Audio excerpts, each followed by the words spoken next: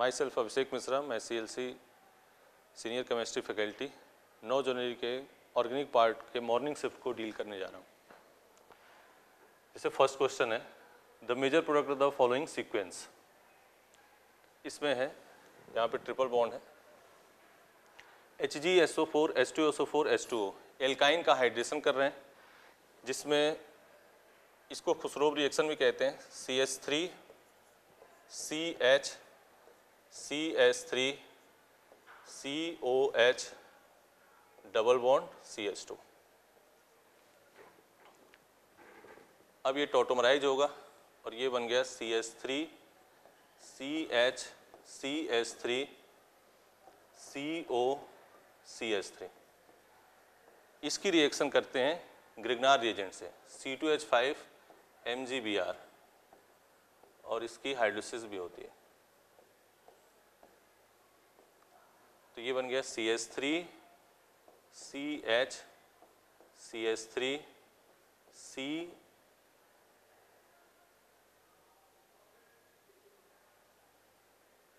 O H C S three यहाँ हो गया C H two C H three अब concentrate S two S O four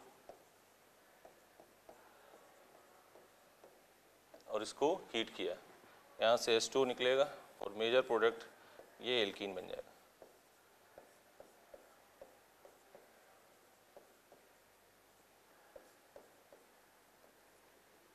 तो answer कौन सा हुआ?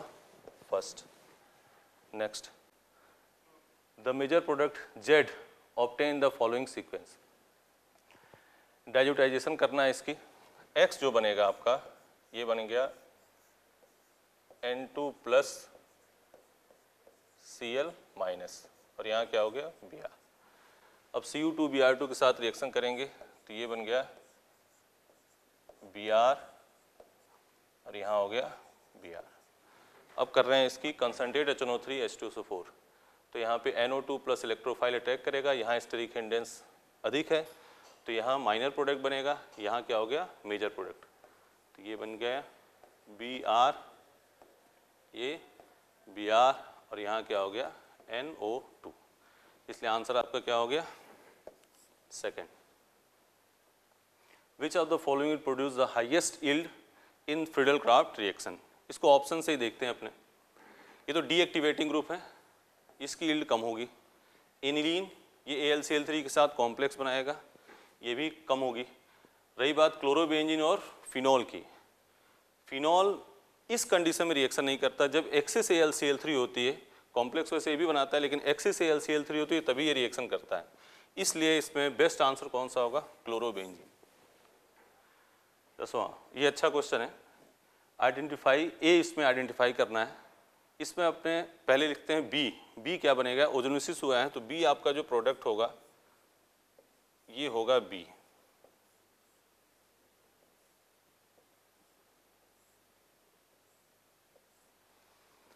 अब ए के बारे में आपसे पूछ रखा है कि ए क्या होगा। तो हम इसको ऑप्शन से देखते हैं। इसमें कितने कार्बन है? One two three four five six और एक कार्बन जो आया होगा, उस किसकी वजह से आया होगा? ग्रिगनार रिएजेंट की वजह से। मतलब जो रिएक्टेंट ए होगा, उसमें जो प्रोडक्ट होगा रिएक्टेंट ए में जो कार्बन होंगे, वो कितने होंगे? फाइव इसमें देखिए, एक, दो, तीन, चार। नहीं हो सकता ये।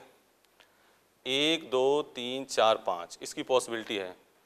एक, दो, तीन, चार। ये भी नहीं हो सकता। एक, दो, तीन, चार, पाँच छः ये नहीं हो सकता। एक चीज़ है, इसमें one, two, three, four, five. इसमें फाइव कार्बन है। इसकी पॉसिबिलिटी दो हैं ऐसे फ़र्स्ट और सेकेंड जिसमें क्या है? फाइव कार्बन है। लेकिन अब इसमें देखिए, जो यहाँ पे डबल बॉन्ड है, वो कहाँ पे है? यहाँ पे लगा हुआ है। इसलिए आंसर कौन सा होगा अपना?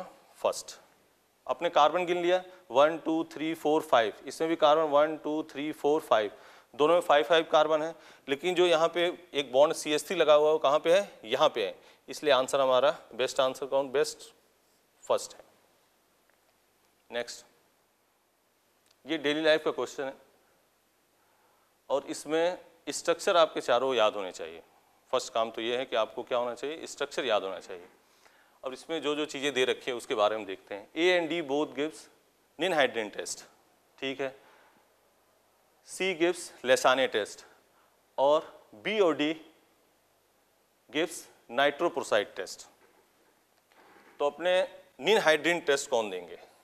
इस क्वेश्चन के मुताबिक निन हाइड्रीन टेस्ट देगा, वो देगा, जिसमें एमाइड लिंकेज होगा। स्ट्रक्चर में जिसमें एमाइड लिंकेज होगा मतलब पेप्टाइड बॉन्ड होना चाहिए। वही देगा ninhydrin test Lassaigne test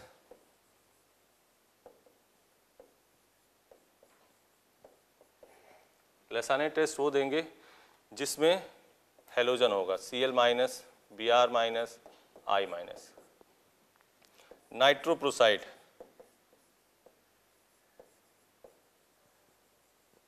nitroprusside test, जिसमें सल्फ़र हो। ये तीन चीज़ें आपको ध्यान रखनी है इसमें। अब आपका जो, इसमें के हिसाब से ए एंड बी ए जिसमें एमाइड लिंकेज हैं तो एस्पार्टेम उसमें क्या होता है? एमाइड लिंकेज तो ये क्या देगा? निनहाइड्रिन टेस्ट सुक्रालोज सुक्रालोज में क्या होता है? क्लोरीन थ्री क्लोरीन होते हैं सुक्रालोज में। इसलिए कौन सा टेस्ट देगा? लेसाने टेस्ट नाइट्रोप्रोसाइड इसमें सल्फ़र होगा। स्ट्रक्चर आपको याद ही होगा। एक होता है एलिटेम में और एक होता है सेक्रीन में। तो इसलिए आंसर क्या हो गया आपका? थर्ड नेक्स्ट क्वेश्चन ये सिंपल इजी क्वेश्चन है। हीट ऑफ़ कंबसन का क्वेश्चन है। हीट ऑफ़ कंबसन देखने के लिए सबसे पहले हम जो देखते हैं एचओसी देखने के लिए सबसे पहले देखते हैं हम नंबर ऑफ़ कार्बन अगर कार्बन की संख्या समान होगी if number of carbon is same, then consider stability. Stability inversely proportional to क्या होगा? हीट ऑफ़ कंबसन तो हमने देखा इसमें तीनों में कार्बन के नंबर सेम है। तो हम क्या देखेंगे? स्टेबिलिटी अपने पता है स्टेबिलिटी किस स्टेबिलिटी किसकी अधिक होती है? ट्रांस की। फिर सिस की। ट्रांस स्टेबल अधिक है ए फिर बी और फिर सी तो एच ओ सी जो अधिक स्टेबल होगा, उसकी हीट ऑफ़ कंबसन क्या होगी? कम होगी। तो C B A C B A कौन सा आंसर है? ये fourth next the mass percentage of nitrogen in histamine histamine का जो मोलिकुलर फॉर्मूला होता है, वो होता है C five H nine N three ठीक है? अब मोलिकुलर वेट मोलिकुलर वेट क्या होता है? वन वन वन अपने पूछ रहा है percentage of percentage of nitrogen fourteen two three forty two upon one one one into hundred ये हो जाएगा thirty seven upon eight four thanks मैं Rajiv Kumar senior chemistry faculty C L C Sikar 9 जनवरी 2020 में हुए JEE main के paper का solution करवाऊँगा इसमें मैं केमिस्ट्री के इनऑर्गेनिक पार्ट का सॉल्यूशन करवा रहा हूँ आज very first question is this question is from coordination chemistry and in coordination chemistry it particularly belongs to isomerism as it involves a spin magnetic concept of a spin magnetic moment and concept of crystal field stabilization energy. तो ये question बहुत ही बढ़िया question है। इस question में geometrical isomerism का concept है स्पिन मैग्नेटिक मोमेंट का कॉन्सेप्ट है और सी एफ़ एस का कॉन्सेप्ट है। तीन कॉन्सेप्ट को क्लब करके ये क्वेश्चन है। वास्तव में ये बढ़िया क्वेश्चन है। क्वेश्चन देखें। ये पैलेडियम का कॉम्प्लेक्स है। यहाँ चार लिगेंड है फ्लोराइड क्लोराइड ब्रोमाइड आयोडाइड आप जानते हो 4d सीरीज़ और 5d सीरीज़ के मेटल आयन चार कोऑर्डिनेशन नंबर में पैलेडियम या प्लेटिनम DsP2 हाइब्रिडाइजेशन रखता है स्क्वायर प्लानर कॉम्प्लेक्स बनाता है। स्क्वायर प्लानर कॉम्प्लेक्स में ये टाइप आ जाता है M A B C D type M A B C D type के कॉम्प्लेक्सेस में स्क्वायर प्लानर कॉम्प्लेक्सेस में it is a square planar complex. तो इस स्क्वायर प्लेनर कॉम्प्लेक्स में ज्योमेट्रिकल आइसोमर्स बनते हैं three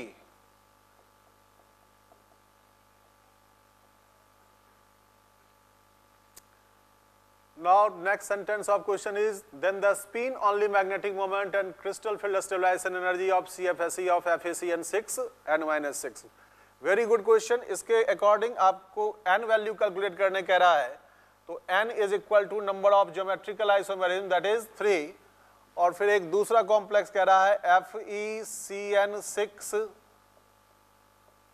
N minus six तो N का वैल्यू हम लोगों ने कैलकुलेट कर लिया थ्री आया थ्री माइनस सिक्स यानी ये कॉम्प्लेक्स है F E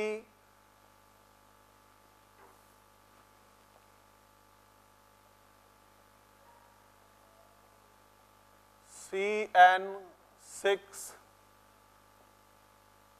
three minus अब इस कॉम्प्लेक्स में पूछ रहा है spin only magnetic moment spin only magnetic moment and C F S E तो इस कॉम्प्लेक्स ये इसमें आयरन प्लस थ्री स्टेट में है। और आयरन प्लस थ्री स्टेट में ये लिगेंड इसके साथ जो जुड़ा हुआ है cyanide ion it is a strong field ligand and strong field ligand F three plus का कन्फिग्रेशन आप देखोगे, ये होता है D six F three plus D five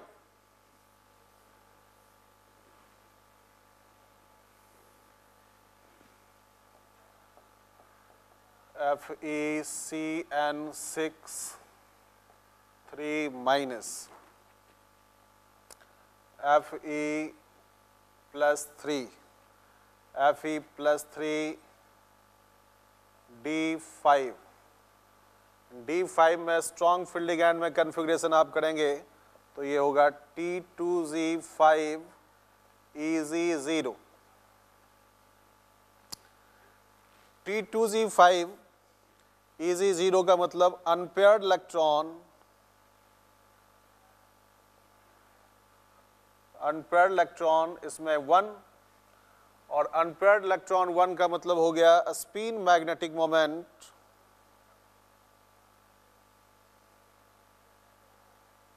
spin magnetic moment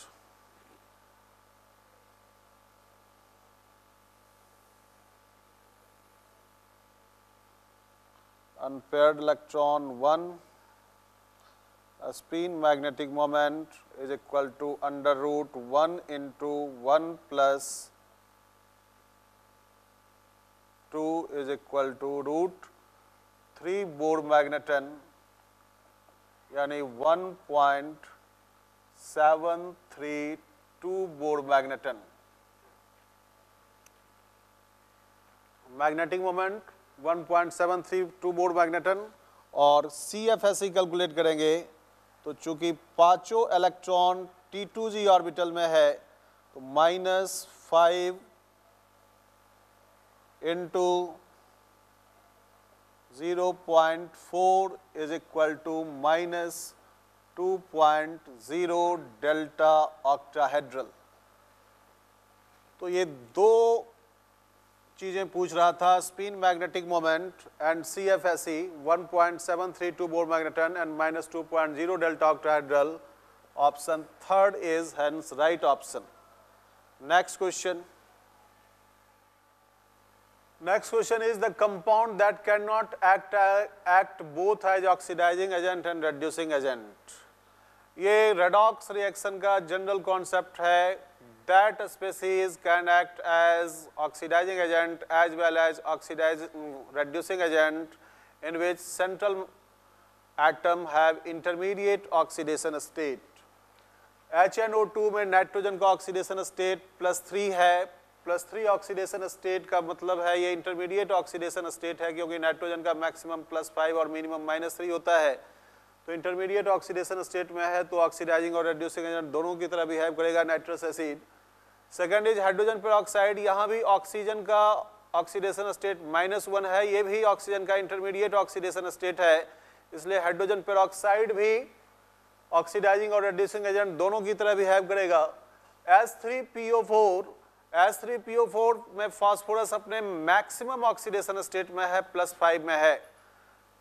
तो इसलिए ये रेड्यूसिंग एजेंट की तरह तो बिल्कुल ही बिहेव नहीं करेगा। हालाँकि इसमें ऑक्सीडाइजिंग प्रॉपर्टी भी वेरी वेरी वेरी लेस होती है। बट H2SO3 को देखें। H2SO3 में सल्फ़र का ऑक्सीडेशन स्टेट प्लस फोर है। अगेन यहाँ भी central atom intermediate oxidation state में है। तो सल्फ्यूरस एसिड भी ऑक्सीडाइजिंग एजेंट और रेड्यूसिंग एजेंट दोनों की तरह बिहेव करेगा। तो only third H3PO3 can not act as oxidising and reducing agent hence right answer is third next question is b has a smaller first ionization enthalpy than beryllium b for boron again it's question of periodic table concerned to ionization energy boron has a smaller first ionization enthalpy than beryllium consider the following statements ये चार statement दे रखे हैं कि why ionization energy of boron is lower than the ionization energy of beryllium?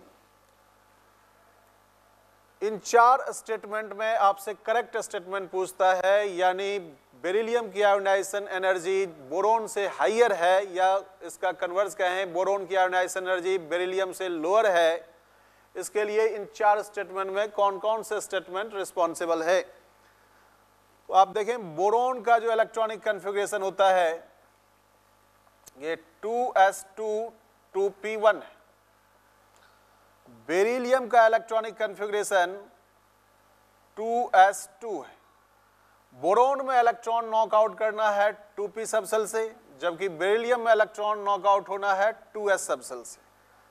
Beryllium का 2s 2s orbital have higher penetration effect than 2p orbital तो ये एक रीजन है बट सारे स्टेटमेंट को हम लोग देखें it is easier to remove 2p electron than 2s electron yes because 2p electron 2p subcell have lower या less penetration than 2s orbital hence it have lower ionization energy तो first is right option.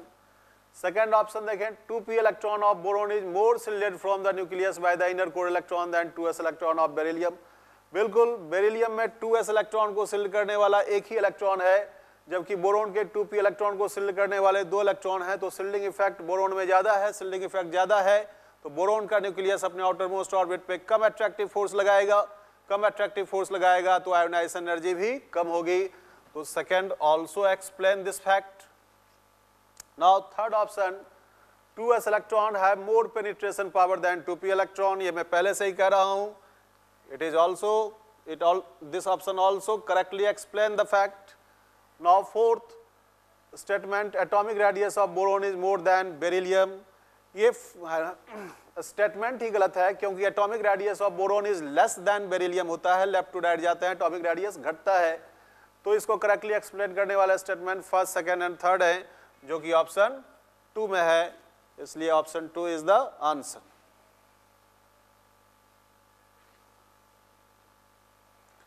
next Next question is,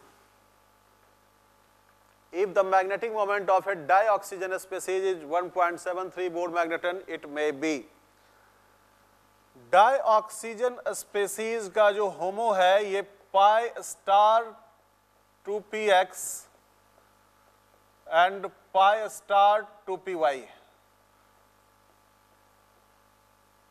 ये HOMO है highest occupied molecular orbital इन दोनों ही orbital में एक एक इलेक्ट्रॉन है, दोनों ये डिजनरेट ऑर्बिटल होते हैं।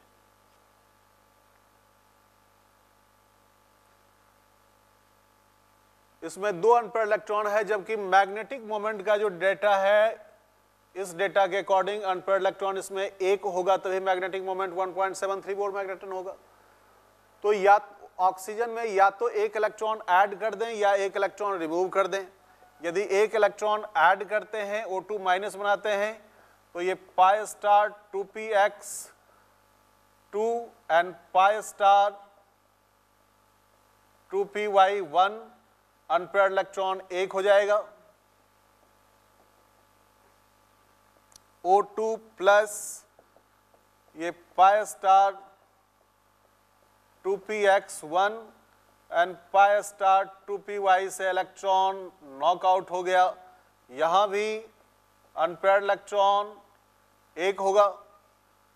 तो O2 two minus and O2 plus में मैग्नेटिक मोमेंट 1.73 बोर मैग्नेटन होगा, जो कि ऑप्शन फ़र्स्ट में है। X of composition CrS2O whole 6 ClN has a spin only magnetic moment of 3.3 3.83 Bohr magneton. If it reacts with silver nitrate and shows geometrical isomerism, then the IUPAC nomenclature of X is Cr H2O whole 6 Cln और इसका magnetic moment है 3.83 Bohr magneton this imply इसमें unpaired electron है three unpaired electron three इसका मतलब यहाँ chromium plus three state में chromium plus three state में है, ये यहाँ ऑक्सीडेशन स्टेट निकल गया। क्रोमियम प्लस थ्री स्टेट में होने का मतलब है एन का वैल्यू यहाँ से फाइंड हो गया। ये C R H two O whole six C L three है। It reacts with AgNO3 and so geometrical isomerism. ये ज्योमेट्रिकल आइसोमरिज्म शो कर रहा है और AgNO3 से भी रिएक्ट कर रहा है, यानी इसमें प्रेसिपिटेबल क्लोरीन भी है और ये आइसोमरिज्म ज्योमेट्रिकल शो करने का मतलब है एटलीस्ट दो क्लोरीन शुड बी इनसाइड तो ये फार्मूला हो जाएगा कॉम्प्लेक्स का C R S two O whole four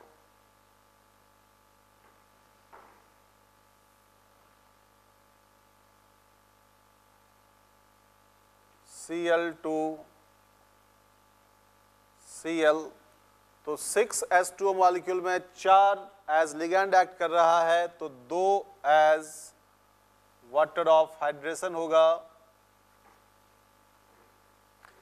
तो कॉम्प्लेक्स का ये फार्मूला हो गया तो कॉम्प्लेक्स का आईयूपीएससी नेम हो जाएगा tetra aqua di chlorido chromium third chloride dihydrate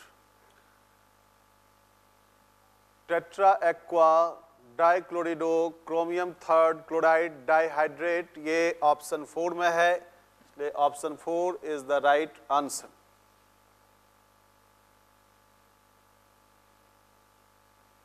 Next question is the acidic, basic and amphoteric oxide. Oxide में तीन ऑक्साइड का सेट दे रखा है। इसमें कह रहा है कि पहला oxide should be amphoteric.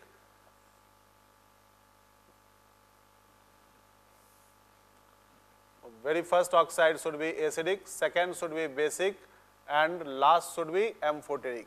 Option के अकॉर्डिंग देखें N2O3 is acidic Li2O is basic and Al2O3 is amphoteric first option सही ऑप्शन है। This question is from metallurgy Ellingham diagram according to the following diagram a reduces BO2 when the temperature is. एक oxide है BO2 another element है A. Ellingham diagram को देखते हुए इस graph को देखते हुए अपने को ये बताना है कि B O two at which temperature तो आप देखें ये ए ग्राफ में ऊपर है बी नीचे है और इस टेम्परेचर के ये 1400 kelvin temperature 1400 degree Celsius temperature है। इस टेम्परेचर से अबव टेम्परेचर पे ए नीचे आता है। तो 1400 डिग्री सेल्सियस से अबव टेम्परेचर पे जाकर के ये इसको कट करेगा। इसलिए 1400 डिग्री सेल्सियस से हाइयर टेम्परेचर पर ही जाकर के ये इसको रिड्यूस कर सकता है। Hence correct answer is third Next question is the electronic configuration of bivalent europium and trivalent cerium are europium europium का इलेक्ट्रॉनिक कन्फिग्रेशन होता है xenon four F seven five D zero six S two europium plus two state में है plus two state में है तो E U two plus करेंगे तो ये दो इलेक्ट्रॉन नॉक आउट हो जाएगा तो कन्फिग्रेशन हो जाएगा four F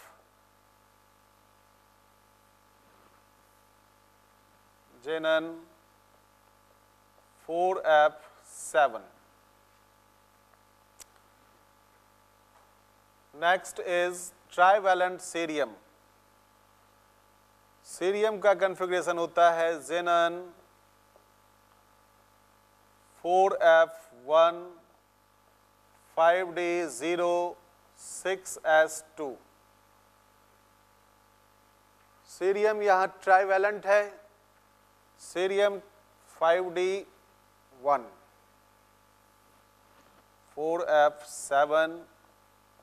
one four F seven five D one six S two यहाँ cerium plus three oxidation state में है। तीन इलेक्ट्रॉन आउटर सेल से ये बाहर निकल जाएँगे। तो कन्फिग्रेशन हो जाएगा four F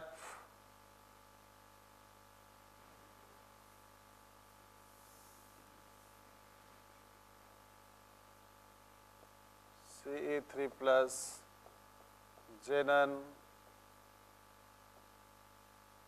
four F one ये देखें europium plus two xenon four F seven and xenon four F one right answer is fourth नमस्कार दोस्तों, मैं Vinay Yadav senior faculty department of chemistry CLC Sikar मैं आप लोगों के साथ इस बार जो जेई मेंस 2020 में नाइन्थ जनवरी को मॉर्निंग शिफ्ट में केमिस्ट्री पेपर जो कंडक्ट किया गया है, उसका फ़िज़िकल केमिस्ट्री का सेक्शन डिस्कस करने जा रहा हूँ आप लोगों के साथ। तो पहला जो फ़िज़िकल केमिस्ट्री से क्वेश्चन था, वो क्वेश्चन नंबर सेवन जो मेरे पास पेपर है, उसके according the enthalpy of atomization मतलब ऑब्वियस है हमें क्वेश्चन पढ़ के समझ में आ रहा है कि ये थर्मोकेमिस्ट्री से बिलोंग करता है। तो वो कह रहे हैं कि भाई the enthalpy of atomization of bromine liquid is X kilojoule and the bond enthalpy of bromine is Y kilojoule है ना? तो एंथैल्पी ऑफ़ एटमाइजेशन को हम डिफाइन कैसे करेंगे भाई? Enthalpy of atomization any compound whenever it is converted into what its constituent atoms in gaseous phase तो whatever the energy required और enthalpy involve is called as enthalpy of atomization है ना? तो enthalpy of atomization इसके corresponding होगी। लेकिन साथ में हम लोगों से बोला जा रहा है, इसकी वैल्यू जो है आपको कितनी दे रखी है? X kilojoule per mole. दूसरा बोला जा रहा है बॉन्ड एंथैल्पी तो बॉन्ड एंथैल्पी हमारी किसी भी सबसे, किसी भी मॉलिक्यूल के करस्पॉन्डिंग जो डिफाइन होती है, वो गैसियस मॉलिक्यूल या गैसियस फेस के करस्पॉन्डिंग डिफाइन होती है। ये one mole of gaseous compound whenever converted into what gaseous atoms और हम जानते हैं यहाँ पे कि ब्रोमीन जो मॉलिक्यूल है है ना? तो ब्रोमीन मॉलिक्यूल जो आपका यहाँ पे देखो। ब्रोमीन गैसियस मॉलिक्यूल है। इसमें एक ही सिंगल बॉन्ड है। तो यहाँ पे जो भी ब्रोमीन एटम में कन्वर्जन हो रहा है, इस दौरान जो भी एंथैल्पी का इन्वॉल्वमेंट होगा, वही आपकी क्या कहलाएगी? Bond enthalpy. है ना? तो बॉन्ड एंथैल्पी जो वो बोल रहे हैं हम लोगों को कि जो है ये आपको दे रखी है वाई किलोजूल पर मोल। है ना? तो पूछा जा रहा है कि एक्स और वाई में रिलेशन क्या होगा? तो हम जानते हैं कि भाई पहले ब्रोमीन लिक्विड अगर कन्वर्ट होगा तो पहले तो ब्रोमीन गैसियस फेस में कन्वर्ट होगा, है ना? और फिर उसके बाद गैसियस फेस से जो है आपका ब्रोमीन गैसियस एटम्स में कन्वर्ट होगा। मतलब यहाँ पे हम लोगों को एक एंथैल्पी की रिक्वायरमेंट होगी that is enthalpy of evaporation और वेपराइजेशन है ना? और यहाँ पे ब्रोमीन गैसियस से ब्रोमीन तो ये वाली जो एंथैल्पी है ब्रोमीन गैसियस मॉलिक्यूल से ब्रोमीन गैसियस एटम्स ये वाली जो एंथैल्पी होगी that will be bond enthalpy. और इसकी वैल्यू हम लोगों को दे रखी है वाई है ना? और ब्रोमीन लिक्विड से आप ब्रोमीन गैसेस एटम्स में जा रहे हो, इसकी एंथैल्पी आपको दे रखी है एक्स तो ये बात तो तय हो गई यहाँ पे कि जो एक्स की वैल्यू होगी वो वाई प्लस समथिंग होगी। Let it be Z let it be enthalpy of evaporation is Z, जो कि एक एंडोथर्मिक फिनोमिनन है, क्योंकि Z पॉजिटिव होगा यहाँ पे, है ना? तो अगर Z पॉजिटिव होगा तो ऑब्वियस है ये ये भी, Y भी आपका पॉजिटिव है bond enthalpy dissociation bond dissociation enthalpy positive होती है। तो X की वैल्यू दैट फॉर श्योर कि Y से ज़्यादा होनी चाहिए। तो हम लोगों को यही दे रखा है, X, Y तो नहीं होगा, और X की वैल्यू Y से बड़ी होगी, ये बात करेक्ट है। तो हम लोगों का ऑप्शन नंबर टू करेक्ट है। तो इस तरीके से ये थर्मोडाइनमिक की पहली प्रॉब्लम नेक्स्ट प्रॉब्लम पे हम लोग मूव करते हैं। ये एक जनरल प्रॉब्लम है। उन्होंने पूछा है कि कोई X melts at low temperature and is a bad conductor of electricity and both liquid and solid state है ना? तो एक्स क्या होना चाहिए? अगर हम देखें तो कार्बन टेट्राक्लोराइड एक कोवलेंट मॉलिक्यूल है है ना? तो एक बेड कंडक्टर ऑफ़ इलेक्ट्रिसिटी है और ये लिक्विड फेस और सॉलिड स्टेट दोनों में ही एक बेड कंडक्टर होगा। अच्छा साथ में इन्होंने बोल रखा है कि लो टेम्परेचर भी इसका मेल्टिंग मेल्टिंग पॉइंट जो है एक लो लो टेम्परेचर पे होगा इसका ठीक है? तो हमें पता है कि कार्बन टेट्राक्लोराइड जो है आ, आ, जो है नॉर्मल टेम्परेचर पे जो है लिक्विड स्टेट में एग्जिस्ट करता है। बाकी के ऑप्शन भी जरा चेक कर लेते हैं हम लोग। जिंक सल्फाइड एक सॉलिड सब्सटेंस है है ना? मरकरी एक हाईली कंडक्टिंग मटेरियल है क्योंकि मेटेलिक है हम सब लोग जानते हैं यहाँ पे। और यहाँ पे सिलिकन कार्बाइड एक कोवलेंट मॉलिकुलर सॉलिड है और ये जॉइंट नेटवर्क स्ट्रक्चर बनाता है तो नॉन कंडक्टर तो ये भी है, लेकिन यहाँ पे जो है, इसका मेल्टिंग पॉइंट बहुत हाई होगा। तो मतलब हम इस ऑप्शन को भी रिजेक्ट करेंगे, इस ऑप्शन को भी रिजेक्ट करेंगे और जिंक सल्फाइड को भी रिजेक्ट करेंगे, क्योंकि ये सॉलिड सब्सटेंस है तो सबसे लो मेल्टिंग पॉइंट और जो कंडीशन मेंशन है हम लोगों को कि बैड कंडक्टर ऑफ़ इलेक्ट्रिसिटी होना चाहिए लिक्विड फेस में भी सॉलिड फेस में भी और साथ में लो मेल्टिंग पॉइंट भी होना चाहिए, इस सब कंडीशन को फुलफिल करने वाला जो सबसे अप्रोप्रिएट ऑप्शन है वो है आपका carbon tetrachloride so answer should be one next option पे मूव करते हैं हम लोग. नेक्स्ट क्वेश्चन पे. Okay de Broglie wavelength question number 11 जो है हम लोगों का स्ट्रक्चर ऑफ़ एटम ऑब्वियस है। डी ब्रॉगली वेवलेंथ का हम डिस्कशन वहीं पे करते हैं। तो de Broglie wavelength of an electron in fourth Bohr orbit fourth Bohr orbit की करस्पॉन्डिंग डी ब्रॉगली वेवलेंथ पूछी गई है। अच्छा तो हम लोग जानते हैं बच्चों कि लैमडा जो होता है डी ब्रॉगली वेवलेंथ वो क्या होता है? एच अपॉन एम वी अब फोर्थ बोर ऑर्बिट की करस्पॉन्डिंग जो हमें ऑप्शन दे रखे हैं, ध्यान से देखो कि ए नॉट दे रखा है। A naught should be what first Bohr orbit है ना? तो यहाँ पे अपन लोग क्या करते हैं, इसको कोरिलेट कराते हैं। नील बोस एटॉमिक मॉडल में जो हम लोगों को इक्वेशन एंगुलर मोमेंटम की दे रखी है, हम क्या करें कि आर फोर्थ बोर का जो रेडियस है, वो मल्टीप्लाई कर देते हैं और डिवाइड भी कर देते हैं, ठीक है ना? और हमें पता है कि एम जो होता है एंगुलर मोमेंटम वो क्या होता है? N H upon two pi तो एन की वैल्यू क्या है? Four H upon two pi क्योंकि एन क्या है यहाँ पे? जिस ऑर्बिट के करस्पॉन्डिंग बात करी जा रही है तो यहाँ पे ऑर्बिट कौन सा? फोर्थ ऑर्बिट है भाई, है ना? तो four H upon two pi हो गया, ऊपर भी एच है है ना? और यहाँ पे क्या भाई? फोर्थ ऑर्बिट की रेडियस तो अगर हम ध्यान से देखें यहाँ पे तो एच एच तो कैंसिल आउट हो गया भाई, है ना? पाई ऊपर पहुँच गया तो बचा गया भाई यहाँ से? पाई अपॉन टू, है ना? तो यहाँ पे pi upon two H H cancel out हो गया, और यहाँ पे टू से फोर कैंसिल आउट हुआ, पाई ऊपर पहुँचा साथ में क्या है? फोर्थ ऑर्बिट की रेडियस। तो फोर्थ ऑर्बिट की रेडियस कितनी होगी भाई? अपन लोग जानते हैं कि भाई रेडियस का जो फॉर्मूला हम लोगों ने निकाला था, वो क्या निकाला था भाई? अगर हमें पता है कि आर जो होता है, वो एन स्क्वायर बाई जेड के डायरेक्टली प्रोपोर्शनल होता है तो एन क्या है यहाँ पे? ऑर्बिट नंबर तो यहाँ पे क्या होगा भाई? Pi by two into what four का square into what A naught है ना? आर क्या आता है भाई? A naught N square by z into a naught. According to Niels Bohr's atomic model तो यहाँ पे हम लोग देखेंगे भाई कि pi by two into what sixteen तो मतलब यहाँ से क्या आ रहा है? एट पाई ए नॉट क्या एट पाई ए नॉट कोई ऑप्शन दे रखा है हम लोगों को? हाँ ऑप्शन नंबर थ्री हम लोगों का करेक्ट ऑप्शन होगा। ठीक है तो इस तरीके से एटॉमिक स्ट्रक्चर की एक आसान प्रॉब्लम थी। नेक्स्ट क्वेश्चन पे मूव करते हैं हम लोग। ओके क्वेश्चन नंबर ट्वेल्व जो है, हम लोगों को पढ़ने से पता चल रहा है कि के एस पी पीबीसीएल2 के करस्पॉन्डिंग दे रखा है तो ऑब्वियस है आयनिक इक्विलिब्रियम की प्रॉब्लम है। जरा देखते हैं कि कितना लेंदी जाता है ये प्रॉब्लम या आसान प्रॉब्लम है। लेट्स सी तो के एस पी हम लोगों को दे रखा है पीबीसीएल2 के करस्पॉन्डिंग सी पीबीसीएल2 इक्वेशन हमें दे रखी है सॉलिड फेस में, और जब एक्वस सोल्यूशन बनेगा तो ये आयनाइज होगा PB aqueous plus two C L minus aqueous ठीक है भाई, यहाँ तक तो बात समझ में आ रही, ठीक है ना? अब हमें कंपैरिजन जो ऑप्शन दे रखे हैं, वो देखो, यहाँ पे Q और के का कंपैरिजन करा है, ठीक है? तो आयनिक प्रोडक्ट जो है आपका, और जो सॉलिबिलिटी प्रोडक्ट है, उनका आपस में कंपटीशन हम लोगों को दे रखा है कि भाई क्यू की वैल्यू के से ज़्यादा होगी या कम होगी। तो अपन लोग जरा देखते हैं कि भाई अपन को दे क्या रखा है? डेटा हम लोगों को दे रखा है कि हम लोगों ने which of the following choice is correct for a mixture of 300 hundred यहाँ पे हम लोगों को फोकस करना है और 100 एम ऑफ़ 0.4 मोलर NaCl तो जरा देखते हैं बेटा अपन लोगों को क्या दे रखा है। अपन लोगों को दे रखा है यहाँ पे लेड नाइट्रेट लेड नाइट्रेट की जो अमाउंट दे रखी है अपन लोगों को उसमें लेड कितना है साहब? 0.13 आ, इसको एक काम करते हैं यहाँ पे लिख देते हैं ना।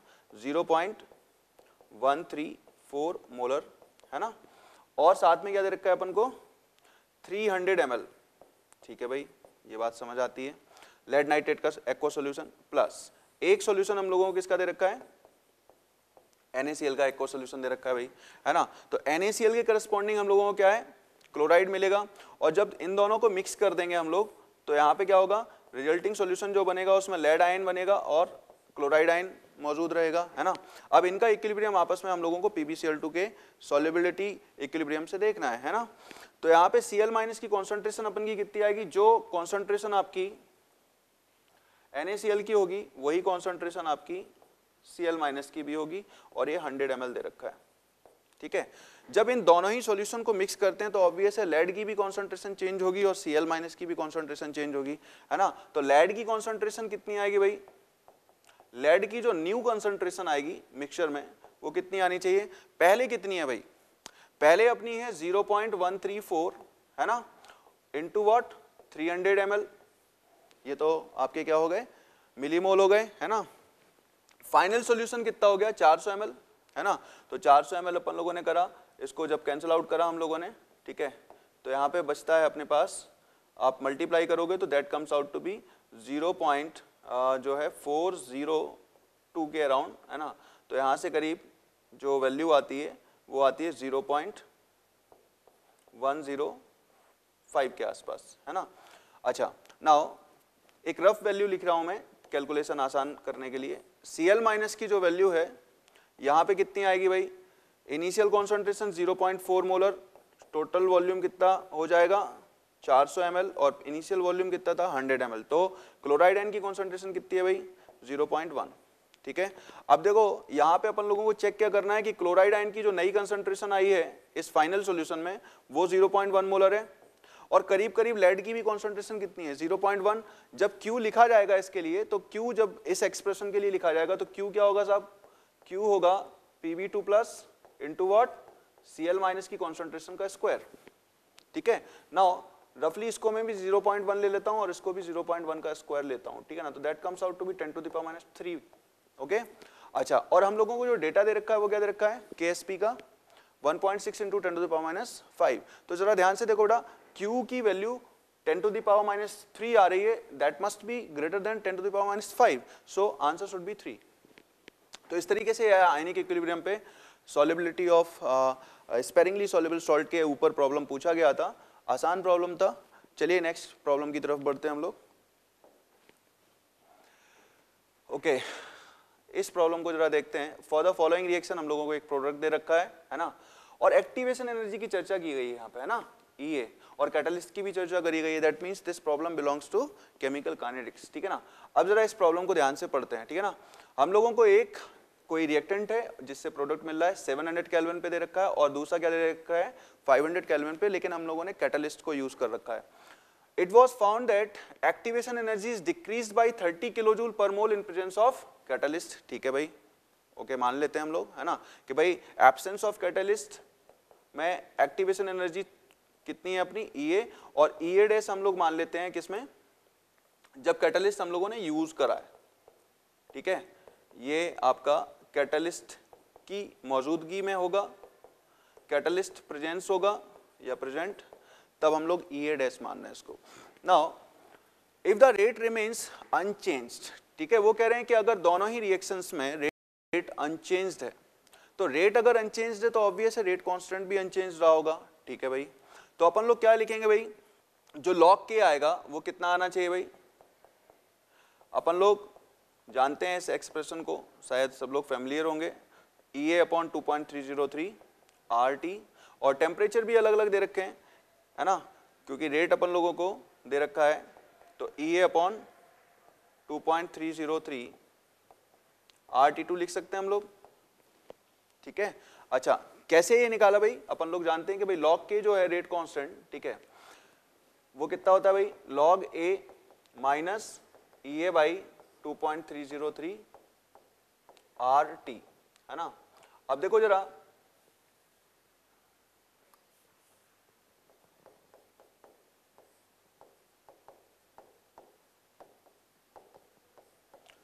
ठीक है, ये एक्सप्रेशन है। अब वो हम लोगों को एक डेटा डिटेल के बारे में बात करें कि activation energy for the catalyse reaction okay is unchange ठीक है ना? ये हमें मानना है कि अनचेंज मतलब लॉग ए की वैल्यू क्या है? Activation energy for the catalyse reaction sorry वो पूछा गया है हम लोगों से, है ना? It was found activation energy is decrease by 30 in presence of catalyst if the rate remains constant तो हमें प्री एक्सपोनेंशियल फैक्टर जो ए है, उसको कांस्टेंट ही मानना पड़ेगा, है ना? तो यहाँ पे क्या है कि भाई लॉग के वन मैं मान लेता हूँ एब्सेंस ऑफ़ कैटलिस्ट में है और लॉग के टू क्योंकि रेट इक्वल है तो ऑब्वियस है, हम लोग इनके रेट कांस्टेंट भी इक्वल रखेंगे, ठीक है? बाकी के सारे फैक्टर्स सेम ही मान के। तो log K one is equal to log K two वहाँ से हम लोगों ने ये एक्सप्रेशन लिखा है कि ई ए क्योंकि लॉग ए कैंसिल आउट हो जाएगा दोनों साइड से तो ई ए और यहाँ पे क्या आएगा भाई? ई ए डैश क्योंकि ये कैटलिस्ट की प्रेजेंस में कर रहे हैं हम लोग, है ना? तो यहाँ पे क्या आएगा भाई? कि भाई ई ए जो है ना 2.303 से तो ये कैंसिल आउट हो जाएगा। E A upon seven hundred, ठीक है भाई? और ई ए डैश अपॉन कितना आएगा?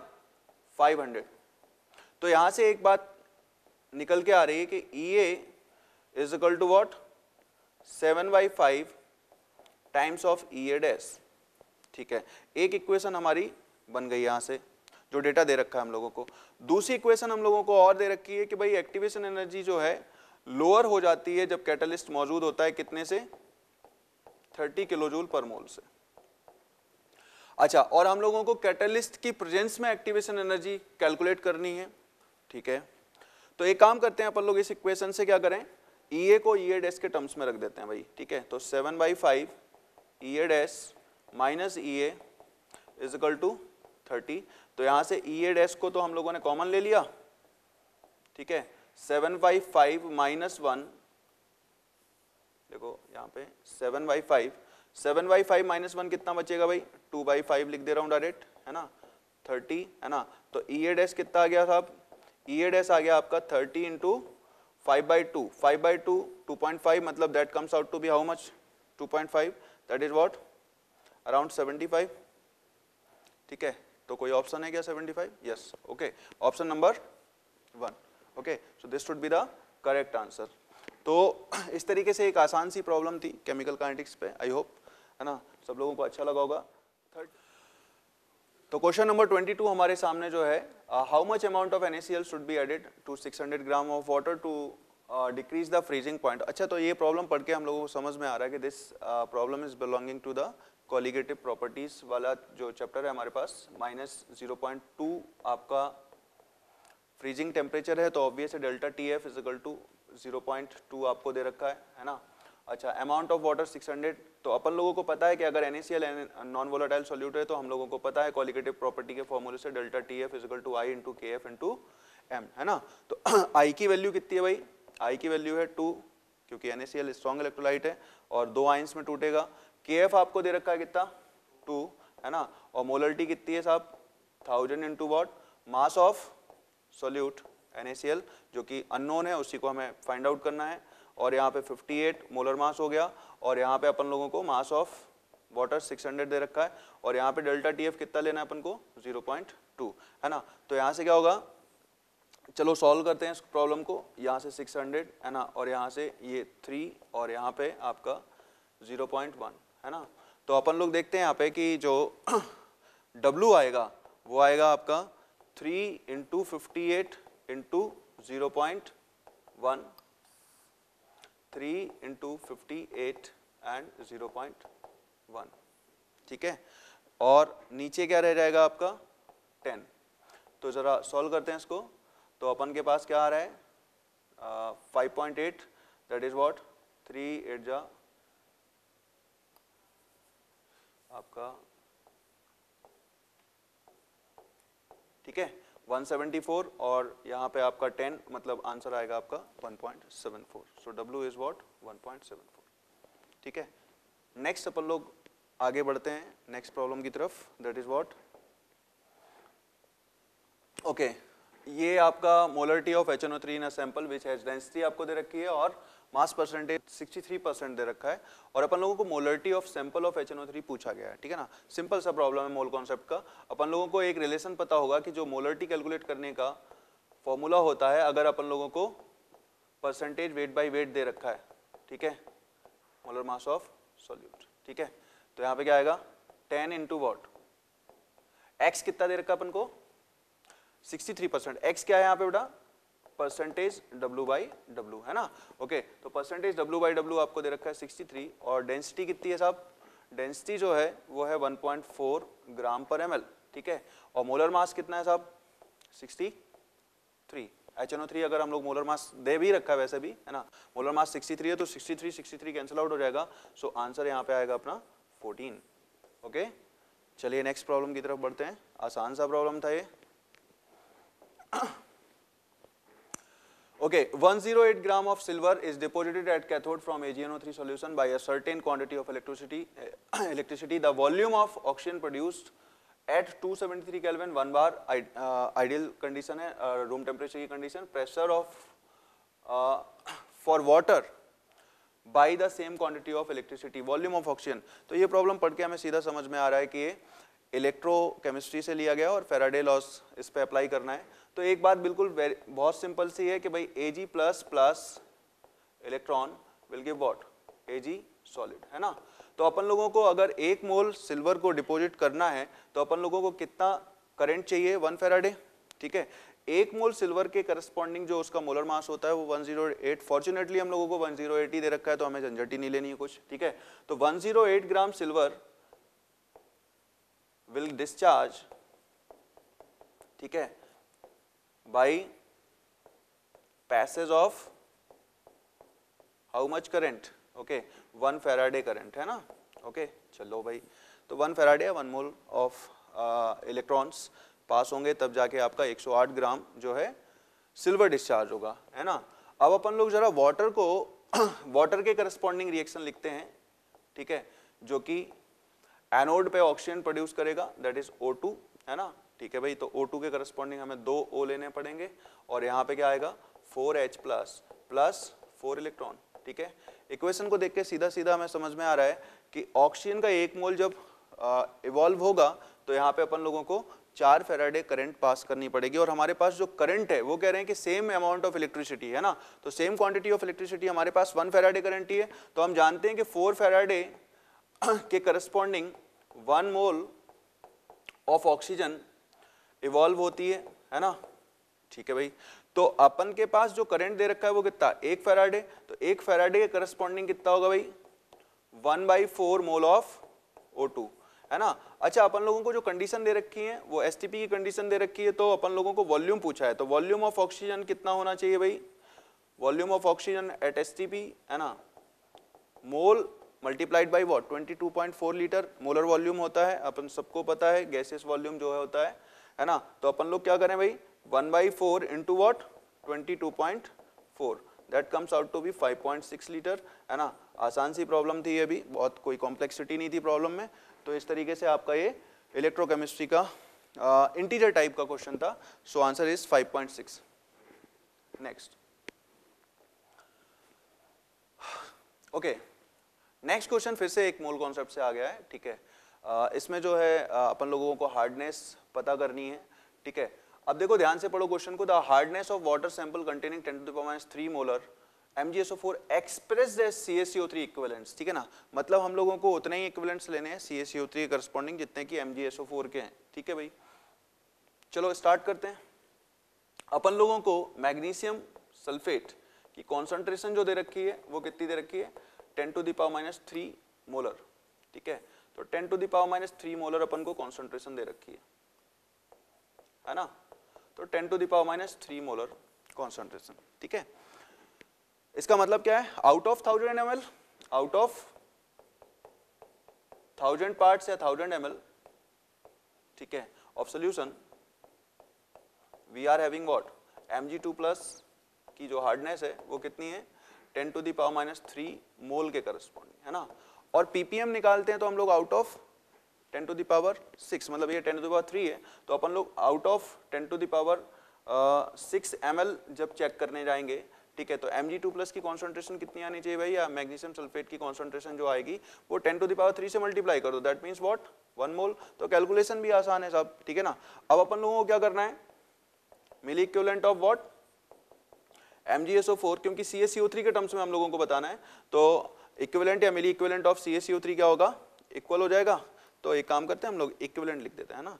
ओके तो equivalent of C S three दोनों का एन फैक्टर बराबर है वैलेंसी फैक्टर को वैलेंसी फैक्टर प्लस टू और प्लस टू यहाँ पे भी है तो दोनों का एन फैक्टर भी बराबर है। तो हम लोग एक काम कर सकते हैं कि mole of mole of M G two plus या M G S O four should be equal to what mole of C S three तो mole of C S three कितना आ गया भाई? Mole of C S three one mole कितना? One mole okay one mole in what in ten to the power six parts of the ठीक है? Parts of the solution ठीक है भाई? Ten to the power six parts of the solution है ना? अच्छा तो वन मोल के करस्पॉन्डिंग जो मास होगा वो कितना होगा आप? ठीक है? वन मोल के करस्पॉन्डिंग मास कितना होना चाहिए? तो अपन एक काम करते हैं ना मोलर मास से मल्टीप्लाई कर दो तो one mole into what molar mass of C three हम सब लोगों को पता है दैट इज़ हंड्रेड ठीक है? सो अपन का आंसर कितना आएगा? हंड्रेड ग्राम ठीक है? Out of ten to the power six parts या ten to the power six gram of solution ठीक है? अच्छा ये जो टर्मिनोलॉजी है hundred gram out of 10 to the power 6 gram of solution that is ppm that is the definition of ppm so, हमारे पास ppm of CaCO3 कितना आ गया साहब? 100 ppm आई होप तुम लोगों ने एंजॉय किया होगा video okay thank you very much इस तरीके से फ़िज़िकल केमिस्ट्री खत्म होता है हमारा ओके okay? नाउ आप लोगों का जो नेक्स्ट जो हमारी वेबसाइट पे होगा, वो ऑर्गेनिक और इनऑर्गेनिक का भी आशीष सर हम लोगों के साथ डिस्कशन करने वाले हैं. Thank you very much